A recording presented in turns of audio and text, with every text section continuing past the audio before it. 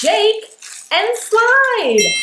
Hi, I'm Sally here in the Discovery Toys Playground with this BPA-free multi-sensory activity toy with six textured handles, six different sliding shapes, cascading beads, a spinning marble, and a clicking dial, this will keep your toddler entertained for ages six months and up.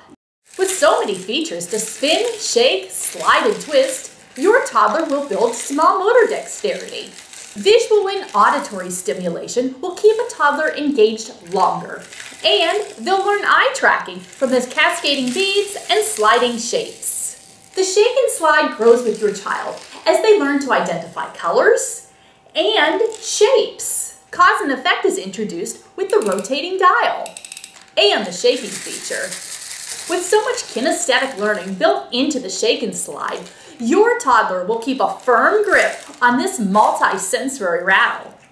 I'm Sally. You can find more fun and educational games and toys at discoverytoys.com.